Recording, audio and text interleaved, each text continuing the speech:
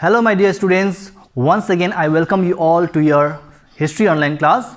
Again today we'll be doing the continuation part of your Indian history with chapter number 9 that is known as Cripps Mission, the Quit India movement and the Subhash Chandra Bose with lots of contribution as well as the roles.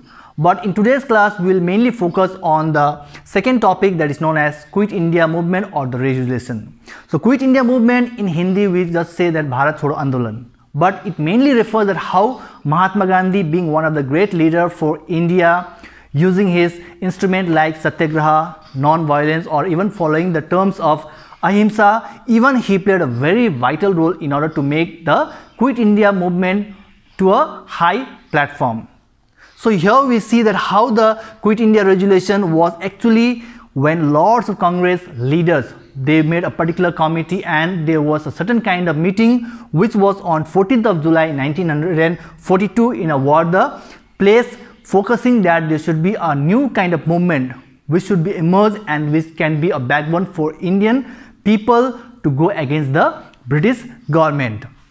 So here but overall the All India Congress Committee that means from all the respective states whoever were the nominated members for the post of committee they finally got they finally get uh, finally gave approval to this quit india regulation on 8th of august 1942 so after that we see that lots of aims lots of objectives even the planning of the quit india movement also was seen by all the people slowly in those kinds of program manner so first we'll talk about the programs of the Quit India movement. So after the Quit India movement got approval on 8th August 1942, what was exactly the programs or the plannings of this movement in order to go against the Britishers?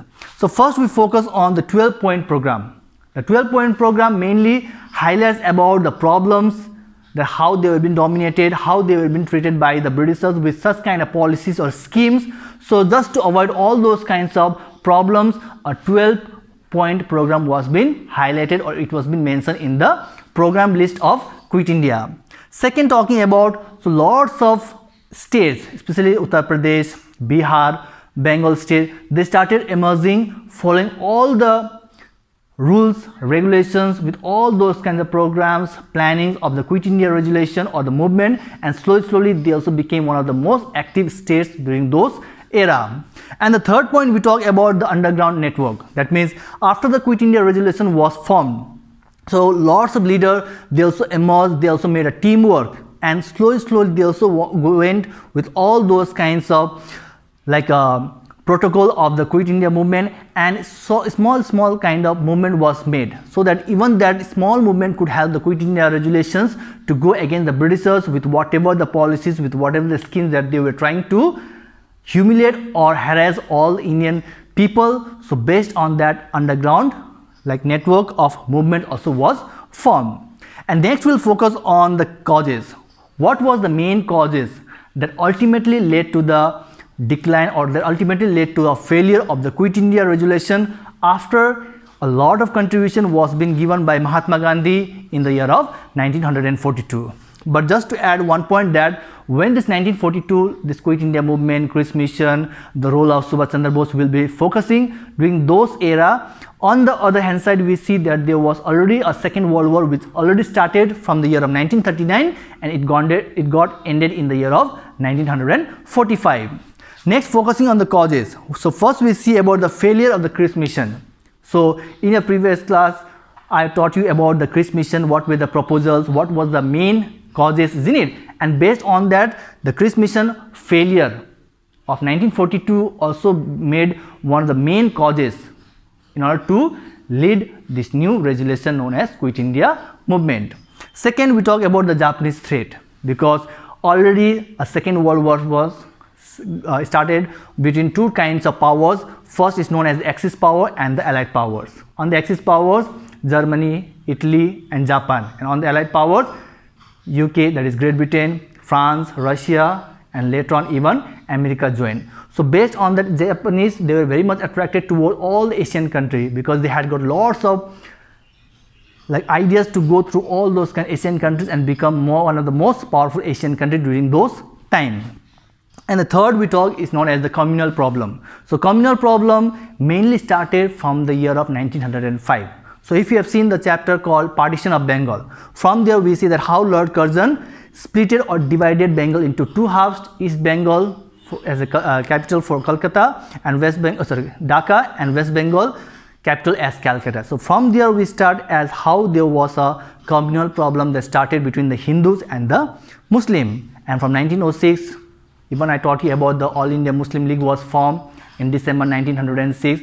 So from there also we see even this communal problem between the Congress or the League or between Hindus and Muslim that also started and made one of the main causes to rise or to give a birth to new movement known as Quit India movement. And the last topic for today's class that is known as significance. So what is the main significance or the impact after the Quit India resolution was formed in the year of 1942. So here we see about the parallel government, that how all the Indian leaders, Mahatma Gandhi, Sardar Vallabhbhai Patel and many other leaders who were related with the Quit India resolution, they wanted to make the British government a parallel government so that it would be easy for them to get independence as soon as possible. Second, we talk about the active role of peasants as well as zamindar. That means when the Quit India resolution was formed, slowly, slowly even the peasants, workers, zamindars, even they supported Mahatma Gandhi and other leaders with all such kind of programs as well as the planning matter. Third, talking about the national patriotic feelings. Because from the year of 1857, when Indian states, they got defeated by all the Britishers in the revolt of 1857 from there we see that how a feeling of patriotism a feeling of nationalism towards the motherland india they wanted to work. And even those kinds of feelings of patriotism was seen among all the indian citizens based on the year called 1942 and the last topic that is known as gandhiji's contribution. So as we all know mahatma gandhi he is mainly famous with the instrument of his policies known as satyagraha ahimsa or non-violence but even his contribution made more worthy of becoming one of the great leader as well as the work that he did soon after he came from South Africa with the Champaran Satyagraha, Kheda Satyagraha, Ahmedabad textile mill and so many other work and that is one of so one of the most re remarkable contribution of efforts of Mahatma Gandhi. So this was overall the summary wise the scenario of your Quit India resolution or the Quit India movement of 1942. Hope you have understood the term with all the explanation that I gave you. Till then, study well. God bless. Thank you.